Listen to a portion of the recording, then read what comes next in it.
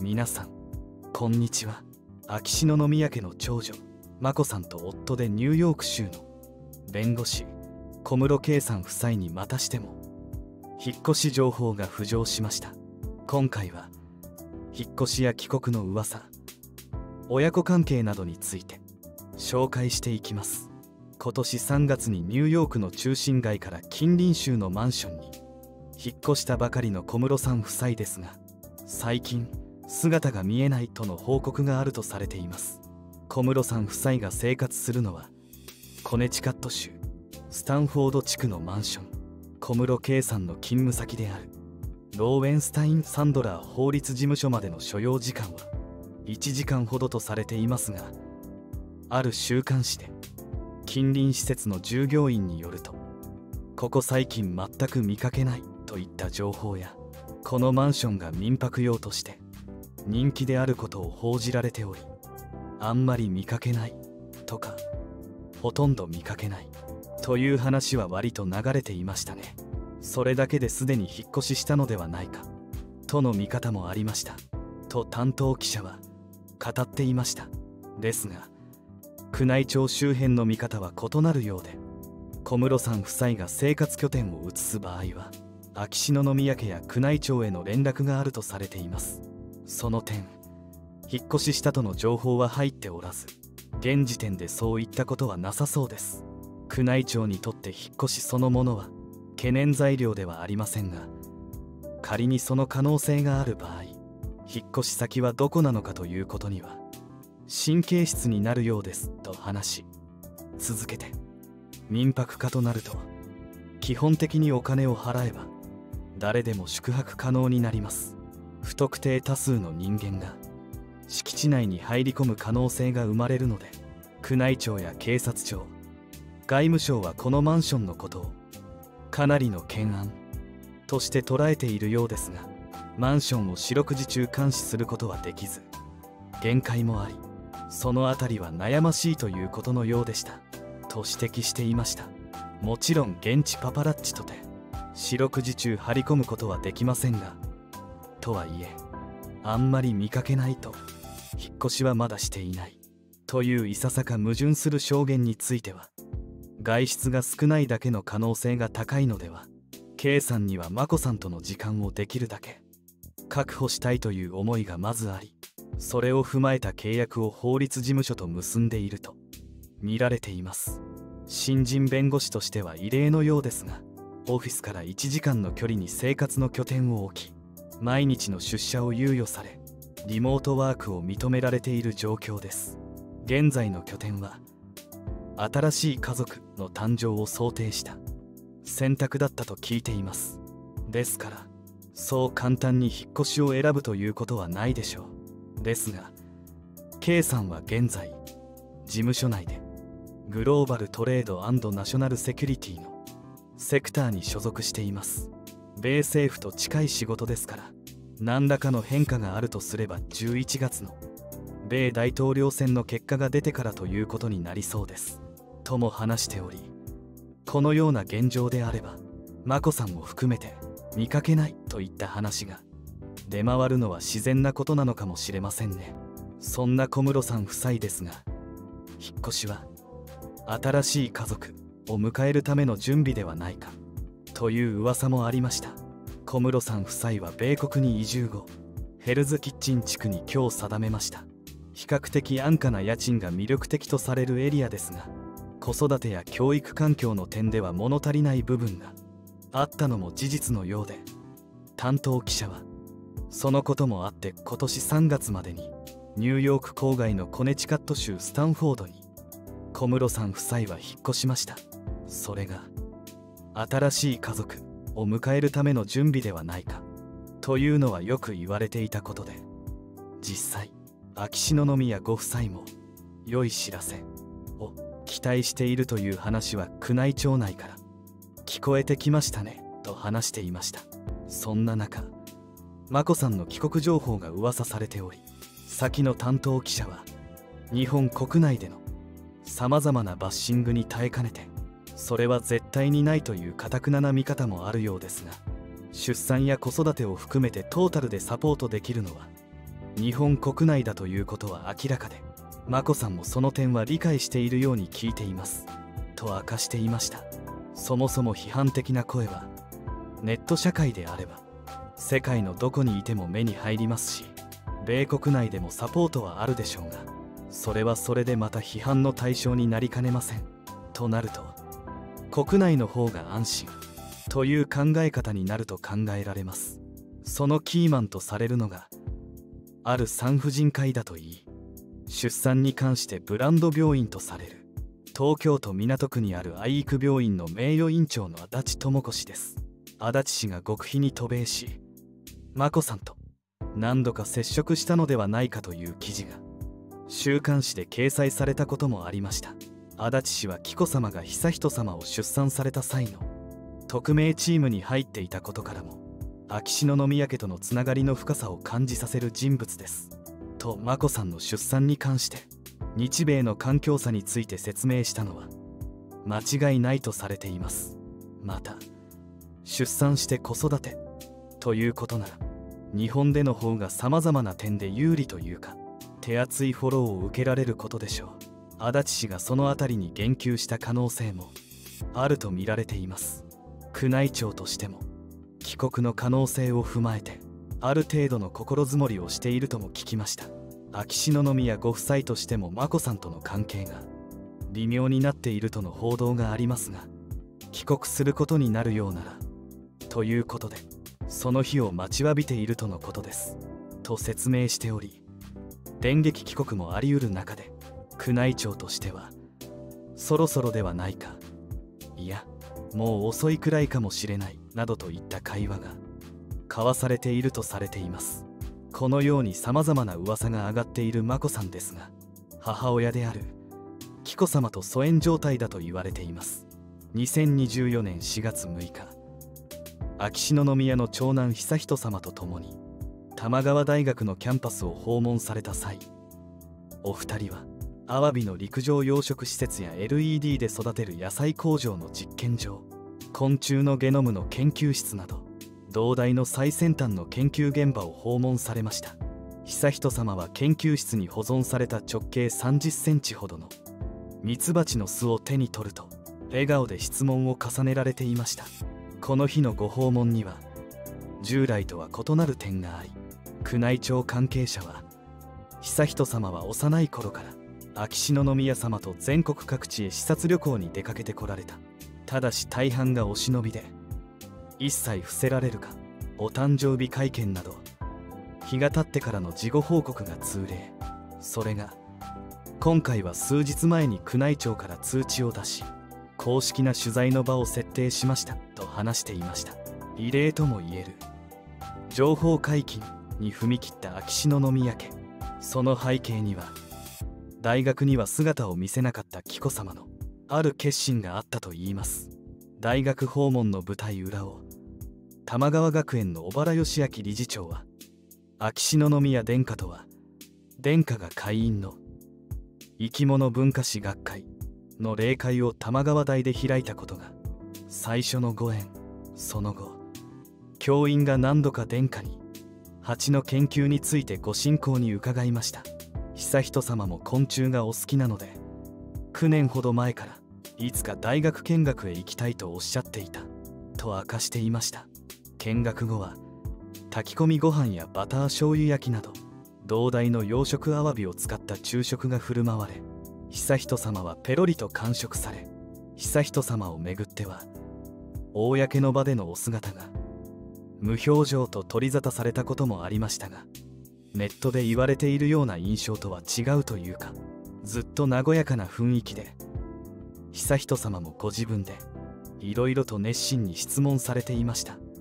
あんなに表情豊かな悠仁さまを初めて見たとバン記者さんも驚かれていたとかと原氏は等身大の悠仁さまに全く異なる印象を抱いたといいます。小室さん夫妻の結婚問題に端を発し宮邸の改修問題などかねてから説明不足や秘密主義が指摘されてきた秋篠宮家悠仁さまについても記者たちの間で普段の様子がわからないとの声が上がっていました。秋篠宮家で悠仁さまに関するこうした方針を審慮してこられたのが紀子さまで秋篠宮家関係者は紀子さまはこれまで情報を随時公開していくことに積極的ではありませんでした。天皇家と違い宮家のお子様のご成長過程を積極的に発信するような前例もなかった。しかし悠仁さまは時代の天皇であり今年は青年を迎えられます。国民に親しみを持ってもらえるようにそのお姿を可能な限り随時公開していこうと紀子さまが大きく方針を転換されたのです。と語っていました。そんな紀子さまは年末から体調が優れず通常の食事が取れない状態だと宮内庁が公表したのは今年1月6日のことストレス性のものとささやかれる胃腸の症状が強まる直前の昨年12月1日紀子さまは災害や事故などで家族を亡くした人々への寄り添いがテーマの映画「グリーフケアの時代に」の公開初日に訪れていました。上映後紀子さまは出演者やスタッフとご歓談。池田省の殺傷事件で長女を失ったことを契機に自身もグリーフケアの活動を始めた女性に紀子さまはあれほどの辛いことの後悩み悲しむ方の相談を受ける時にどのようなお気持ちでいらっしゃるのですか？とお尋ねになると女性は皇室の皆様が国民に向ける温かい眼差しや佇まいその姿がグリーフケアそのもの僭越ながら参考にさせていただいていますと答えそれを聞いた紀子さまは突如ポロッと涙をこぼされたといいます。案内役の増田由美子さんは形は違えど同じ思いや悲しさを共有していらっしゃるのかもと感じさせられましたと振り返っていました。国民の思いに寄り添うという理想像のもと紀子さまは人知れず活動を続けてこられ3月1日には千葉県市川市の筑波大学附属聴覚特別支援学校を訪れ幼稚部でひな祭りの催しをご見学。その時の案内役を務めた。西垣正義校長はひな人形に扮した子どもたちが楽器を演奏し歌に合わせて踊る小さな発表会です。宮内庁から小さな子どもへの聞こえの支援を見学できるような機会があればと打診があったためご提案したもので取材設定はなし騒ぎにならないよう学校にもお気遣いいただいたのだと思います。と当時を振り返っていました。ですが思うように改善しないご体調が深く影を落としたご活動もあり秋篠宮が金沢市の再生会金沢病院をご訪問。能登半島地震の支援活動などを視察され被災者を見舞われました。秋篠宮家関係者によると体調不良がなければご夫妻でご訪問されたはずです。実際この頃紀子さまは周囲に被災地へ行きたいと相談されていた。国民の悲しみに寄り添うことを理想とする紀子さまは是が非でも一緒に訪問されたかったでしょう。と語っていました。そんな中紀子さまを一層じらせる出来事がありそれは宮内庁が運営する。公式インスタグラムの開設です。4月1日に天皇や雅子さま愛子さまの家族写真など公開されフォロワーはわずか1週間余りで首相官邸の28.9万人を大きく上回る81万人を達成しました。BBC やニューヨーク・タイムズなど海外メディアでも取り上げられ話題を呼んでおり宮内庁関係者は新しい外国の特命全権大使が信任状を天皇陛下に捧げる信任状法定式についてインスタで告知したところ当日は若い世代が続々と東京駅に集まり馬車列を見学したのです。若者がしかも平日の催しに来るなんてと町内は湧き上がっていますと説明していました。そんな海外品格をもてなす雅子さまの清掃姿や公務に加わる初々しい愛子さまのご様子が目を引く。雅子さま愛子さまインスタ新しい広報活動は好調に見えますがそこに欠けているものがあるといい。投稿に秋篠宮家がほとんど登場しないのです。宮内庁は当面の方針として両陛下のご活動を中心に投稿するとしている。宮内庁としては天皇ご一家を優先したのかもしれませんがご一家の長女である愛子さまが写っているのに皇位継承順位が1位。2位の秋篠宮さま悠仁さまが紹介されないのには違和感を拭えませんとのことでした宮内庁に秋篠宮家のご活動の投稿予定を尋ねると秋篠宮皇嗣同妃両殿下を含む他の皇族殿下方のご活動等に関する発信については今後改めて検討をすることとしていますと明かし最新の広報活動から取り残される形になった秋篠宮家紀子さまの焦りは最近ある独自路線へと結実しているといい講師職関係者はお出ましの際に取材に来た雑誌や新聞社などの番記者にお声をかけられるようになった。従来はあまりなかったことです。と語っていました。また別の関係者が年1回の結核予防講習会は紀子さまが毎回出席している思い入れの強い行事です。結核の予防啓発にはメディアの力が必要ですから協力を仰ぎたいというお気持ちでお声をかけられたと聞きました。最近の紀子さまはメディアと良好な関係を築きたいという思いを強められていると明かし皇室ジャーナリストは情報公開の姿勢だけで今の秋篠宮家への逆風が止むとは思えません。情報を公開するにしても一番大事なのはその中身です。進化は今後問われることになると話していました。そんな紀子さまが今最も頭を悩ませておられるのが大学受験について。高校3年生になられた悠仁さまは大学進学にあたり自然史を学べる進路を検討していると公表されましたが秋篠宮家関係者は悠仁さまは高校進学時に低傾向進学制度を利用されたことから特別扱いと批判を集めた紀子さまは大学進学ではその鉄を踏まないようにどんな試験を受けどう発信すれば国民の納得が得られるかということを思案しておられるのですと話されました。さらに別の悩みの種もあるそうで小室さん夫妻は米国に行きその後の様子が分からず雲隠れ状態と報じられてきましたが紀子さまや秋篠宮は相変わらず眞子さんとは断絶状態で佳子さまを通じて近況を知る状況が続いています。最近が転居先での2人の様子を商報しましたが紀子さまは転居先の住所もご存じなかったそうです。近況が伺い知れない状況には気をもんでおられるでしょう。さらに秋篠宮の知人で K さんの後見人を買って出ていた。伊勢食品の伊勢彦信元会長も今年1月に破産手続きが開始され K さんの面倒を見るどころではなくなった。紀子さまにとっては眞子さんの近況を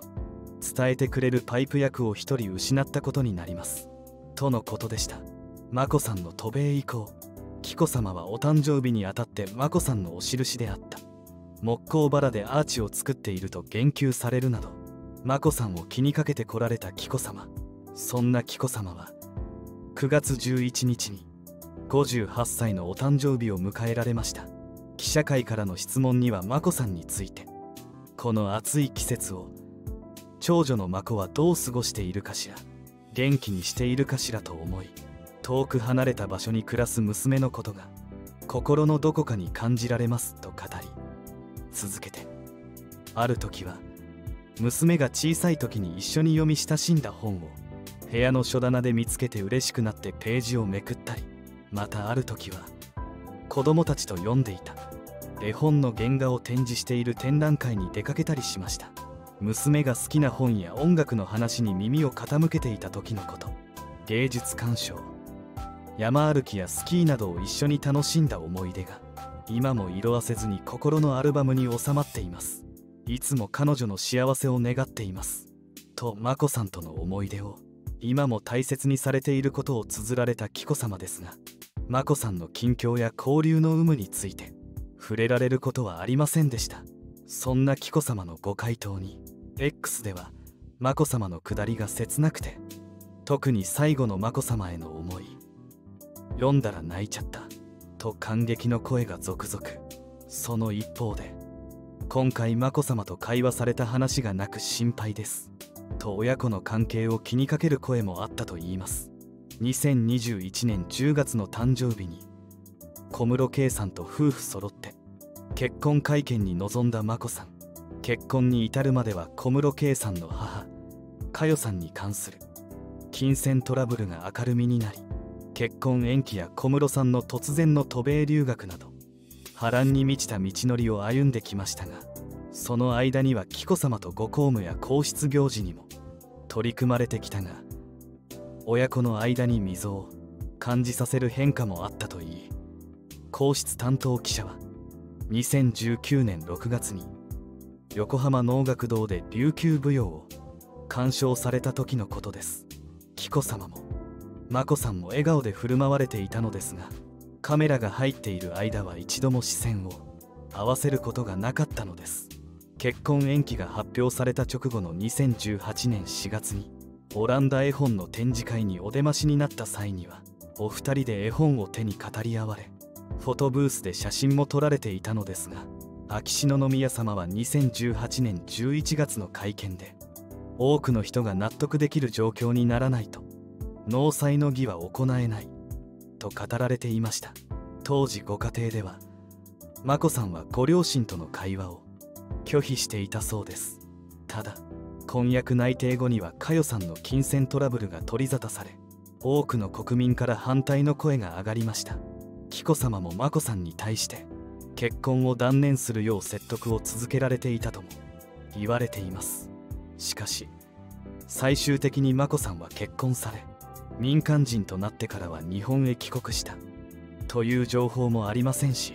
連絡は取られていないように見受けられます。と眞子さんとは対話を重ねる中で意見が違ったりすることもあることも明かしていました。いかがでしたでしょうか？今回は引っ越しや帰国の噂